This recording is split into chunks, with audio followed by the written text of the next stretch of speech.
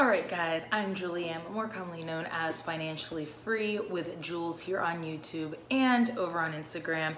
I'm always posting daily motivational tips, tricks, and other budget information on my Instagram. So today I'm gonna get started and go right into how to read an LES. I'm very fortunate because I am a O1E, which is a second lieutenant that has prior enlisted experience. If you are in the military and you come in enlisted and you have four years and one day, you get additional pay for having that enlisted experience, which then makes your pay an O1 pay up to O3 pay. And then once you pin on 04, you don't, it basically equals out, your pay does. But you get that additional pay.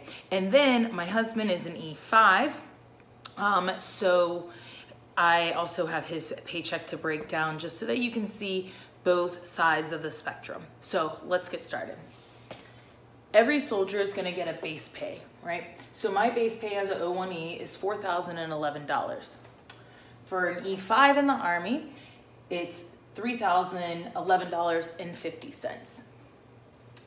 The next entitlement that we get is BAS, which is Basic Allowance for Subsistence. Basically, food costs. Yes, you get money every month to pay for your groceries.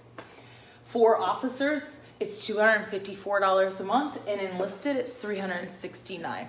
However, a lot of enlisted personnel do not get BAS. It comes in and then comes right back out as a deduction on theirs because they will eat at the cafeterias, the DFACs, right? Next allotment or next benefit is going to be your BAH or your basic housing allowance or OHA overseas housing allowance. You get one or the other, but you are not entitled to both. For instance, I'm here in Korea, so I'm entitled to OHA. However, I live on post, um, it's a requirement here for me to live on post. So my OHA is $13. That's it. However, my husband lived in Hawaii, and of course, you know the cost of live uh, the cost of living in Hawaii is obviously more expensive. So his housing allowance was $2,445, which was definitely enough to cover a two bedroom, two bath apartment. And it also covered most of the utilities in that apartment as well. Next up is gonna be hazard duty pay. Not every soldier is entitled to hazard duty pay. It all depends on where you're stationed at. Here in Korea, I'm in area four, which is the farthest area away from North Korea. So I still get hazard duty pay, but I get it at a lot lower of a cost than if I was up in area one or two. So my monthly hazard duty pay is $50 a month. My husband does not get any hazard duty pay because he's not stationed in an area where it's considered hazardous. Next up would be COLA. COLA isn't given at every duty station either. COLA is only to offset the additional cost of living where that duty station is. So here in Korea, I get $542 a month for COLA. And in Hawaii, my husband gets $391.29 to offset the cost of what your base pay is.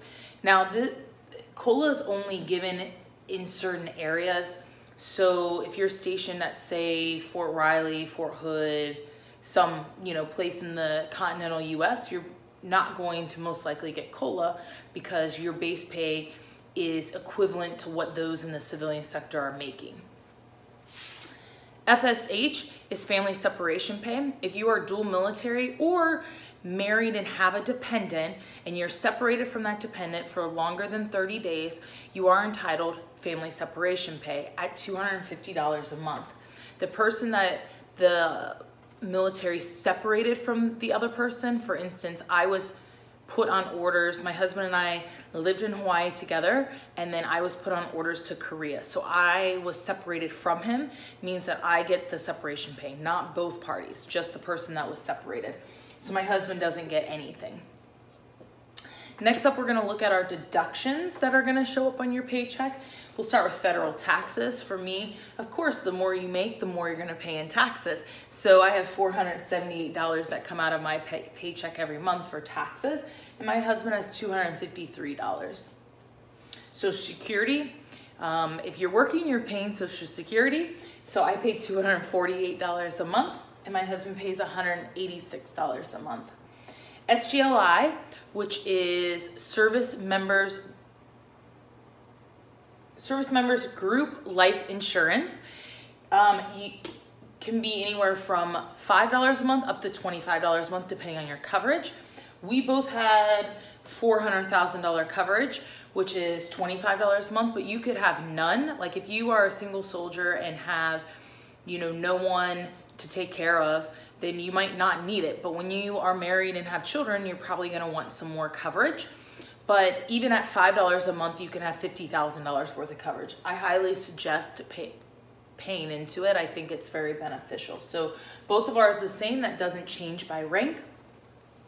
State taxes, mine's $135 a month because my home of record on my taxes is Ohio. However, my husband's record is Texas, and in Texas, active duty military do not pay income tax, which is really nice, so he doesn't have any that comes out.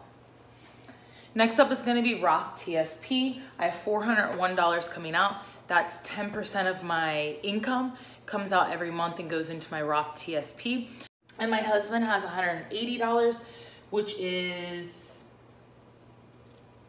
I think 7%. 7% of his income is coming out into the Roth TSP. So here's the thing about TSPs. TSPs in the Army are part of your retirement system. So the Army will match 5% of whatever you put in. So, or 5% is the match that the Army will do. So there's no point in only putting 3% into your TSP because then the Army's only gonna match 3%. But if you put 5% of your income in every month, the Army's going to match 5%. That's basically free money that they're giving you for saving for your future.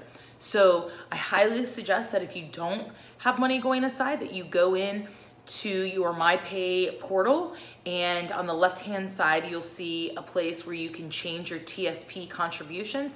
Go in there and put at least 5% of your income in to your TSP account. Last but not least is gonna be Medicare. Um, I pay $58 a month for Medicare and my husband pays $43 a month. What does that mean for our total take home pay? Well, there's one other thing that we both um, take out of our paychecks monthly. We There are allotments. Any soldier can do an allotment. Common, the, the common misconception about allotments is that it's a negative thing, right? That if you're taking an allotment, it's probably because it's for child support, maybe back pay for something, maybe a credit card debt. But all allotments are not bad. I highly, highly suggest that if you have not set up an allotment for savings, go in and do it today. So I have $700 a month that comes out of my paycheck. I don't see it. It doesn't go into my normal bank account and goes into a separate savings account that I just don't touch. So every month I have $700 that goes into a savings account. And then my husband has an allotment set up for rent. So the our rent is not, you know, $2,400. Our rent is $1,900 a month. So he has that set up in an allotment so that it automatically pays for our rent on the first of every month. It's a great concept and a great setup.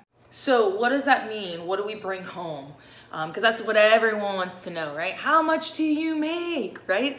So bi-monthly, I get paid on the 1st and the 15th. Actually, all military get paid on the 1st and 15th. I'm no one special, right? I take home about $1,300 a month and my husband takes home about $1,500 a month. You'll notice that I'm a higher rank than my husband, but he brings home more. Part of that's because of the state taxes, also because he makes less, he pays less in Social Security and some other um, deductions as well. So in general, oh, and I don't get my housing because I have, I'm living on post on the Army's dime, so I don't see my housing. But that's a decent income. Now, most people be like, well, I can make more in the civilian sector.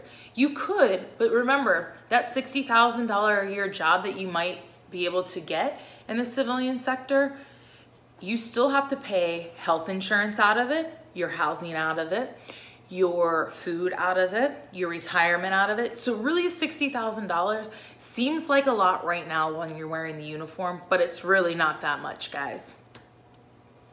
You'll also notice that The BAH, so the basic allowance for subsistence or the food stipend, is less for officers than it is for enlisted.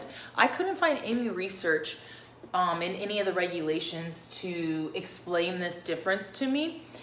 I have no idea. Do officers just eat less than enlisted? I don't know. Or is it just because officers make more in their base pay so it offsets it?